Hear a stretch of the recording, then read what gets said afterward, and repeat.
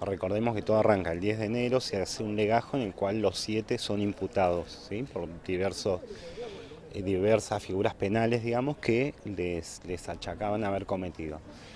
Pero a partir de la audiencia de control de detención del día 12, allá en Esquel, el juez que estaba a cargo de la audiencia ordena que se abra un legajo, digamos, en paralelo para investigar las denuncias que ellos estaban realizando, los siete, a partir de sus declaraciones. ¿no?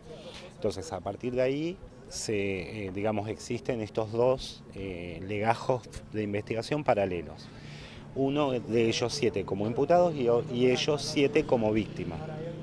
Bueno, tienen distintos grados de avance, las dos causas. En una, bueno, ya está la apertura de la investigación formalizada en contra de ellos y eh, la Fiscalía tiene eh, seis meses a contar del 12 de enero para decidir si encuentra elementos o no para acusarlos penalmente.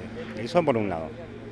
Pero en la otra causa, en la que se abre por orden del juez, que dice es demasiado grave lo que están contando y amerita eh, la, apertura de este, de este legajo distinto, digamos, aparte, en esa ellos ya comenzaron a hacer las denuncias formalmente ante Fiscalía, ya comenzaron a recibir asistencia, el servicio de asistencia a la víctima, quien empezó los abordajes técnicos, digamos, que, em, que los protocolos indican en estos casos cuando hay víctimas de delitos y em, bueno, se están constituyendo como querellantes particulares en estos próximos días, bueno, para poder seguir aportando pruebas y medidas, digamos, procesales, en vistas también a que se abra la apertura de la investigación contra todos los que resulten culpables, o al menos responsables penales, llamémosle, eh, de eh, los delitos que ellos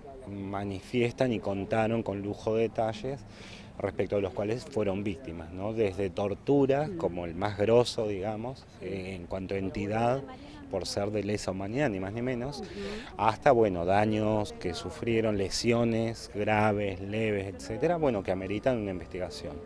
Pero obviamente eso incluye también investigar cuál fue la participación no solamente de los efectivos policiales de aquel día 10, sino también de eh, los miembros del Ministerio Público Fiscal que gestionaron la causa en el, sentido que fue gestionada, digamos, y también entendemos nosotros eh, la responsabilidad que le cabe al ministro de Gobierno de la provincia del Chubut, que también fue denunciado penalmente, también fue denunciado penalmente, y bueno, a partir de su actuación, eh, todo ese día 10, también el día 11, eh, digamos a través de las fuerzas policiales, ¿no? que venían apostadas en Maitén de manera reforzada, aparte, ¿no? de una manera común, desde hacía ya un par de meses largos, a partir de diversos hechos que se fueron dando en la zona que bueno motivó que ultra saturaran primero de fuerzas de la policía del Chubut y luego de fuerzas nacionales a partir de Gendarmería, que eso bueno lo vieron los vecinos del Bolsón, que también tenían un vivac acá en, a pocas cuadras, digamos. Bueno, y que son los que actuaron luego aquel 10 de enero en horas de la mañana en el procedimiento, digamos, ordenado por la justicia federal, donde comienzan los hechos y bueno, y luego por la tarde, a partir de digamos, la intervención de la justicia de Chubut, la ordinaria, digamos, ¿no? federal, bueno, todos los hechos que se desencadenaron y que terminaron con las siete víctimas de la brutalidad policial, digamos. ¿no? Edgardo, comentanos cómo es la situación de, Jorge, que por ejemplo, él ahora está indocumentado y hubo otro de, los jóvenes que estuvo un tiempo también indocumentado. ¿Esto cómo es? ¿Es legal que le retengan el documento a un ciudadano y esté durante tres meses? ¿Dónde está durmiendo ese documento? Ese documento está en la gaveta de su camioneta que actualmente fue presentada a partir del 7 de marzo, pero se pidió, se viene pidiendo, en realidad ahora, esta semana salió, digamos, la, la orden de fiscalía de entrega porque ya se peritó la camioneta, ya no, tiene ningún sentido, digamos, procesal que la documentación esté ahí,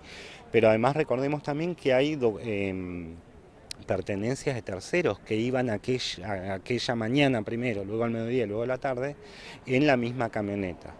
Que quedaron son elementos camperas, etcétera, que quedaron en la caja y bueno, que como él contó antes, eh, no fue presentada, no se conservó ninguna cadena de custodia como debería haber sido, tratándose de elementos secuestrados, digamos, por la justicia, ¿no?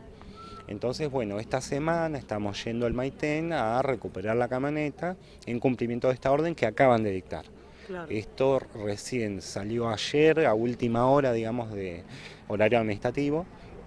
Y bueno, y eh, tenemos la información que ya se le notificó a la, a la policía, a la División de Seguridad Rural del Maitén, que es donde está la camioneta también, otra irregularidad gravísima. Ellos denuncian, digamos, eh, la agresión perpetrada, entre otros, por parte de la División Seguridad Rural del Maitén, pero resulta que de premio le dan que la camioneta la custodien ellos mismos, la gente que gatilló, lo cual es una macabra paradoja también, ¿no? Pero bueno, que es consecuente con esta gestión desquiciada que viene llevando a cabo el Ministerio Público Fiscal desde el mismo 10 de enero en horas de la tarde hasta la fecha. Pero a la vez ya tenemos ciertos avances como por ejemplo el hecho que el servicio de asistencia a la víctima esté acompañándolos, también es un reconocimiento por parte del Estado de su entidad de víctima. También, ¿no? Digamos. Eh, es un mensaje diciendo, bueno, si ellos fueran los salvajes terroristas que pintaba el gobernador, el ministro de gobierno, a horas de acaecidos los hechos que todavía no se habían determinado, bueno, no deberían tener esta asistencia del servicio. Obviamente, si la fiscal jefe de ese entonces decidió dar la intervención a dichos servicios porque vio que la entidad en carácter de víctimas, el estatus de víctima, digamos, estaba muy, muy determinado y bueno, y por eso, digamos, cambiaron calabozos, maltratos, torturas, golpes y humillaciones por eh, servicios de asistencia a la víctima, lo cual también es para, digamos, para remarcar.